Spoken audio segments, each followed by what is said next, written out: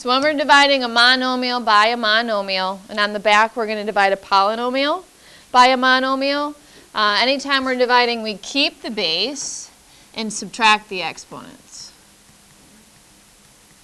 So the rule for x to the a divided by x to the b is x to the a minus b. Sometimes students get thrown off though when the bases are numbers. So in the one to the right, 3 to the fourth divided by 3 squared is what? H-E?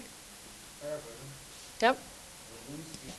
So it ends up being 3 squared. And then anytime your answer is in terms of numbers, you have to reduce even further. So 3 squared is 9. You could have even have done it as, um, so 3 to the fourth is 81. And then 3 squared is 9. And then 81 divided by 9 is 9. Okay? Yeah. So the number one, we're going to take a squared b cubed and then divide it by ab. So you have to focus on those like bases. So divide the a squared by a, and what do we get? There's a 1 there. So keep base of a, and then 2 minus 1 is just a, or a to the first, yeah. And then b cubed divided by b to the first would be b squared. If you have a coefficient out front you want to divide, so number 2, divide the 20 by 4 and you get? Five. Yep. And then what is x to the fifth divided by x squared? x cubed.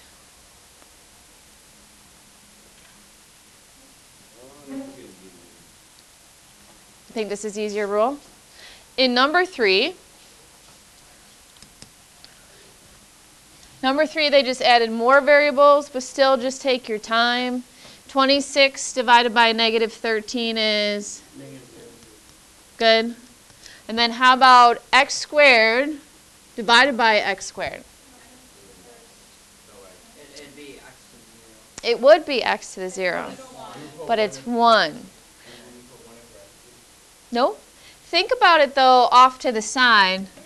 x squared over x squared, if you have any number divided by itself, what do you get?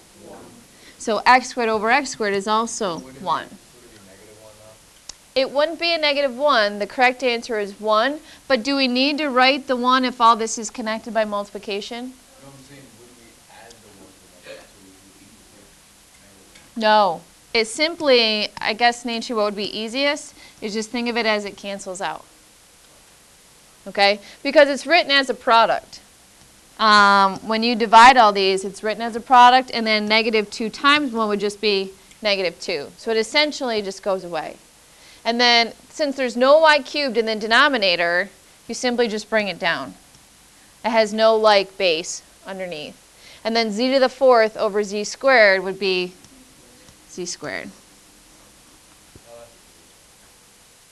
Okay, and a problem like number two, I would square it first. So always do any product or multiplication and then divide last. So let's write this out twice. So 2k cubed uh, over 3k to the negative 2 times itself. What would the numerator be? 2k cubed times 2k cubed. When we multiply fractions, we multiply straight across. 2 times 2, 4. k to the 3 plus 3, 6. Then 3 times 3, 9. k to the negative 2 plus 2 is negative 4. Then divide. But can you divide 4 by 9 and get a whole number? Can you reduce the fraction? 4 and 9 have any common factors? No. So we leave it 4 ninths. This k to the negative 4 is going to move where? Up top, so it becomes 4 k to the 6th, k to the 4th over 9. Yep, I would. So final answer is going to be 4k to the... Nope. 6 plus 4, 10 over 9. if you actually follow the rules for division, right here, what is 6 minus a negative 4? If you were to actually subtract the exponents. Negative 10. Not a negative 10, but 10, which is what you get here, right? So you can do it one of two ways. Number 5, so go ahead and square the numerator, and then we'll divide by 3x to the third.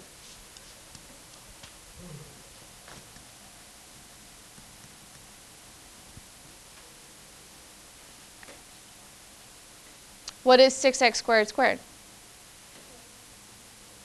Not 12. 6 squared is 36. X to the power to power 4. Then divide. So save the division for last. 36 over 3. 12. X to the first, or just 12x. Same idea in 6. So go ahead and multiply the numerator, and then we'll divide by 4x to the sixth.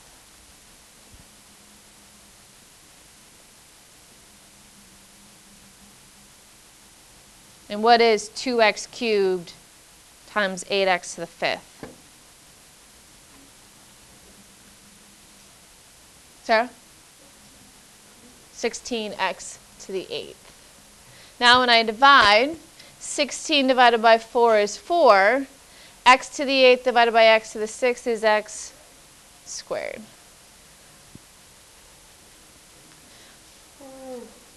What about 2 to the 6th divided by 2 cubed? 2 cubed. But since it's all numeric, we have to simplify that to the number that it equals. So 2 times 2 times 2, you're 1, that's 2 to the 4th. 2 cubed is 8. Last one on the front. So we need to do 4x squared to the fourth. So 4 to the fourth power. Got 4 times 4, 16, times the third 4, 64. And then 64 times the 4, 256. Yes. x to the 2 times 4, 8. And then 4x cubed squared, 4 squared is 16. x cubed squared is x to the 6th. Yeah. Yes. 256 over 16? No. 16. And then x to the second. Now, this morning, they thought the back was much easier than the front. And I would have to agree with them. Okay? When you're um, dividing any polynomial by one term, you just simply divide every term in the numerator by what's in the denominator. And they tend to be easier expressions. So you tend not to see anything crazy like this, or this, or this. Okay, so in the first question, we have 8x cubed plus 4x squared minus 12x. So that trinomial divided by 2x. So divide each one. So what's 8x cubed divided by 2x? 4 to the what power? There's a 1 there. 3 minus 1, 2. Now divide the middle term by 2x. So be positive. Nope, 4 divided by 2, 2. And yes, x. And then negative 12x divided by 2x is a negative 6.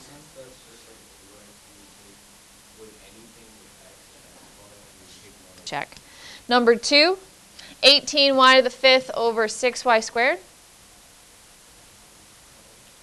18 divided by 6 is 3. y3. And then 12y cubed divided by 6y squared? 2y. Good.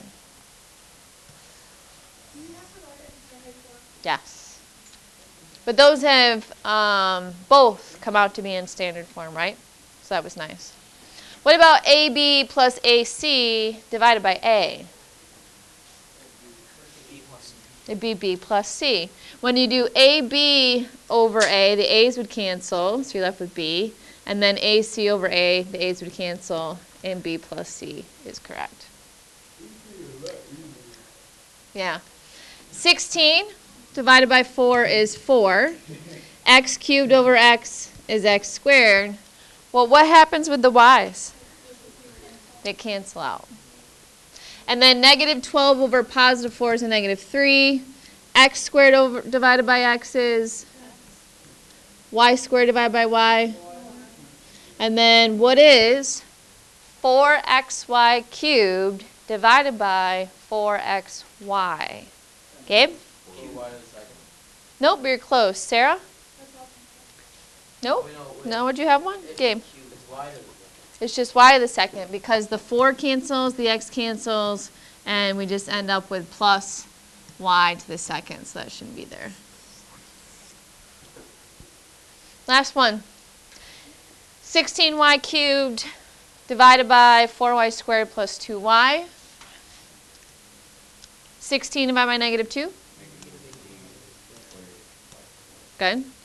4y squared divided by 2y. And then at the end? Negative 1. The 2 and the y would cancel out. Now look, in number 5, we had 3 terms divided by 1 term. Our answer was 3 terms. Up here, 3 terms divided by 1 term. Our answer was 3 terms. 2 terms divided by 1 term. Our answer is 2 terms. Is it always the case where the number of terms that you have in your numerator is the number of terms you have in your answer? Yes, always. We're going to check one.